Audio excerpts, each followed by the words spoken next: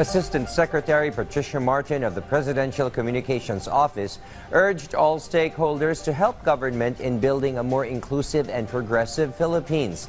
This she emphasized while presenting the Marcos administration's Bagong Pilipinas vision during the opening ceremony of the 2023 Singapore FinTech Festival. The PCO official likewise invites all Filipinos from across the globe to see their country in a new light as government initiates transformation in various sectors of society is not merely a product of government policy, but a call to action to both officials and ordinary citizens.